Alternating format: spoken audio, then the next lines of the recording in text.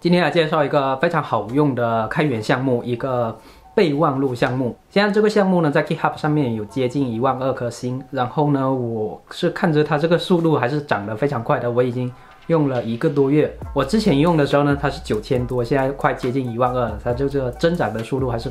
很快的，所以证明了它就是还是挺受别人的喜欢的。然后最近等来了它一个比较大的更新，呃，修复了很多的 bug。现在感觉呢，就是是一个比较适合的时机呢，可以来介绍它了。所以今天这期视频就是完整的介绍一下它，然后也分享一下我的使用体验，跟大家说一说它到底好用在哪里。那么先来说一下我自己，我自己呢，快两个月前嘛做过一期视频，然后讲一下我有这样的需求，需要把一些文字啊或者一些链接什么的。呃，放在同一个地方，然后让我的所有设备都可以访问。注意哦，我不只是要把手机跟电脑连接而已，我是需要手机、平板，然后一台苹果电脑，一台呃 Windows 电脑，他们都需要能够访问同样的数据嘛。所以之前有些人跟我说，嗯，那个苹果、那个华为，它可以呃手机跟电脑互通什么的，我不需要这样的功能，我需要我全部的设备呢都可以访问到。所以我之前是介绍到我自己呢改一个开源项目。然后这个项目搭建好之后呢，就是一个网页嘛，我可以把这些文字啊什么的都放在这里，然后我所有的设备都可以访问到。那么这期视频呢播放量是很低的，但是我也看到呢很多人还是比较认可的，他们也有这样的需求，所以。呃，对于我做这期视频，他们还是有有有些人还是比较感激的，觉得也解决了他们的一些问题。但是我最大的收获呢，就是做这期视频之后，有一个网友跟我分享了另一个非常好好用的应用，就是今天要介绍的这个 Memos。然后我就看了他的介绍之后，就去尝试嘛，尝试之后确实非常的好用。然后我又用了一个多月了，现在上面是有一百多条的记录的，就是我还是每天都会使用到它的。然后这个应用呢，它要建立起来是非常简单的，因为它只需要用一条 Docker 命令就可以把它运行起来了。我们可以到 GitHub 或者说它的 Docker Hub 的页面复制一下这条命令，然后把它呃在我们的终端执行一下就可以运行起来了。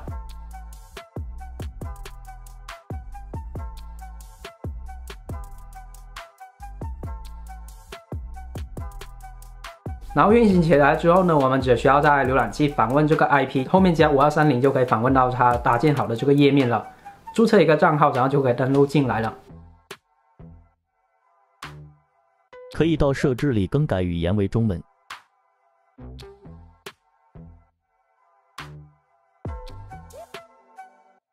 发一条 memo 试试看。然后它呢，除了我们输入一些文字之类的。它上传这个图片也是很方便的，比如说我这里截一张图，然后只要张贴一下就可以把图片呢张贴在这里，然后点一下提交就可以了。那么这就是它基本的使用了，记录文字或者图片之类的。然后我觉得最方便的就是我来到另外一台电脑，在这里有我同样登录同一个账号这样。那么在这边呢，我点击这张图片就可以把它下载到我的苹果电脑上面对吧？所以我平时现在就是。呃，图片的传输呢，我有时候就靠它了。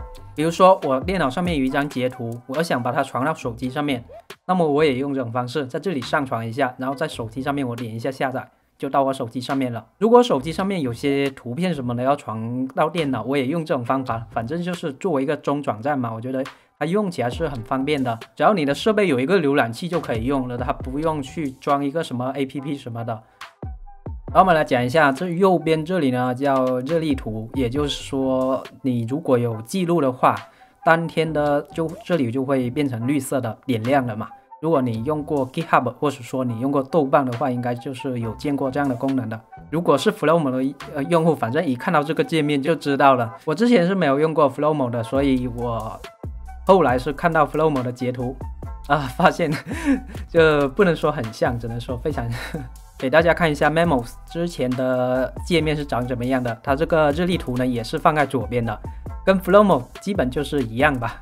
它后来呢就是通过更新把它挪到这个右边了啊，反正我觉得无所谓了，我是不在乎它这些。我个人比较在乎的呢，是不是它是一个开源项目，然后这个数据呢是保存在我们本地的，我可以掌握这个数据。那么到现在为止呢，其实我们就是把它当成一个在浏览器运行的一个 A P P 嘛，一一个备忘录应用，只不过它不用装在我们的手机什么的，它就运行在浏览器而已。但其实呢，它不只是可以这样用啊。呃，这里用另外一个浏览器来看一下，这个浏览器你看我没有登录的，那么现在看到的就是也是可以访问到，但是没有显示任何的 memo。我们如果要修改我们之前的备忘录的，可以点双击这个内容，那么它就会再次的进入这个输入框。然后呢，我们可以在这里更改它的可见范围的，我这里把它改为说人可见。再提交上来，这里会有一个 public，然后我们来到这里刷新一下，可以看到这条记录就出来了。这么说吧，它就是可以我让我们自己搭建一个微博或者推特之类的。然后现在我们只有一个用户，我们在设置里面呢，在成员这里可以创建用户的，然后设置这里面呢是可以打开这个允许用户注册。那么我们只要打开之后呢？其他的用户呢，也可以通过我们搭建的这个网站来注册啊，然后就是增加用户嘛。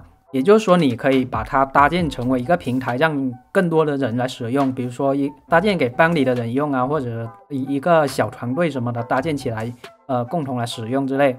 比如说，我这里又注册了一个账号，然后它这个刚创建的账号呢，老是需要我们更改一下语言。这个颜色也是可以变的，有深色跟浅色可以更改。你看这里新用户呢，它没有 memo，那么这里就是不会亮的，全部都是灰色的。只要新添加一条内容，这里就呃就会点亮它了。然后这里呢还可以更改为登录用户可见。这一条呢就是这个第二个用户创建的。我们回来到第一个用户这里。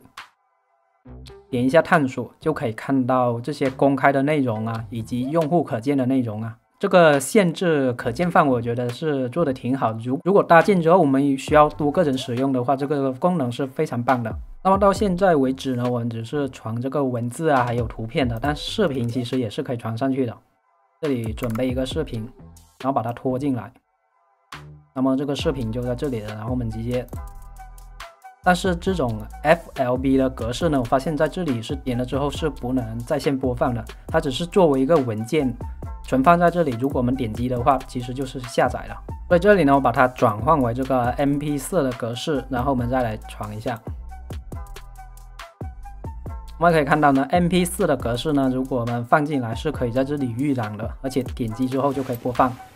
全民制作人们，大家好，我是练习时长两年，在其他用户这里呢，也是可以。呃，显示这个预览的，而且可以在线播放。所以，如果你们需要把这个视频呢传上去的话，最好就是弄成 MP4 格式的。全民制作人们，大家好，我是练习时长两年半的个人。它在手机上面呢，就是界面是这样的，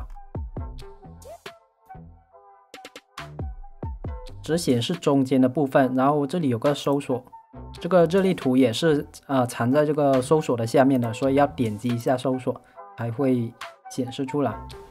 哦，我感觉呢又啰里吧嗦的讲了一大堆，然后我感觉 现在这个视频呢制作的水平呢也达不到我的预期吧，但是我还是想做这个视频呢，就是把它分享出来吧。然后反正我个人是非常的喜欢这个应用的，之后也会继续的用下去的。然后我之前呢就是这个应用呢，我一直在手机上面就是用浏览器来访问它而已，用了很久了。然后前段时间呢就是发现，哎，它还有一个。手机上面的客户端，我们如果直接到这个 Memos 的那个 GitHub 项目上上面，它会推荐其他的相关的项目嘛？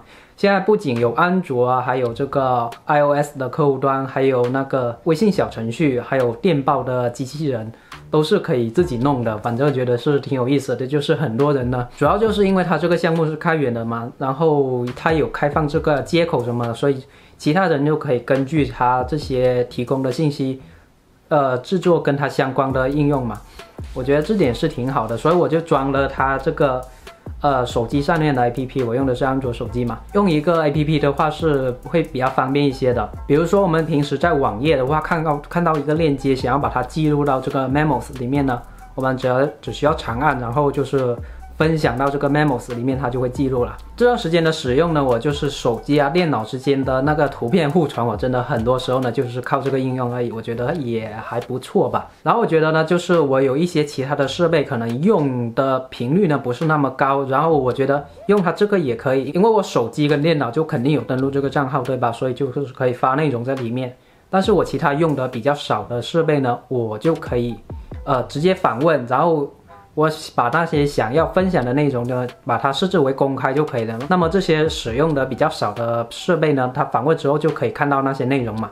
所以也是可以解决我一开始说的，呃，要这些信息呢，所有设备都可以访问到这个需求，我我同样也是可以解决的，大家都可以去尝试一下，我不就我感觉也没有必要讲的非常非常的细，因为对于没有基础的用户来说呢，可能觉得很啰嗦之类的，呃，我觉得暂时就讲这些吧，如果之后我有研究出一些其他的用法、其他的技巧、呃心得之类的，我还是选择，呃，记录到博客里面吧。这期视频就主要跟大家讲这个 Memos，这个是确实挺好用的，大家可以去尝试一下。反正是开源免费的嘛，你嗯弄一条 Docker 命令拉下来，然后用自己用一下。呃，那么就这样吧，感谢大家观看，我们下期再见。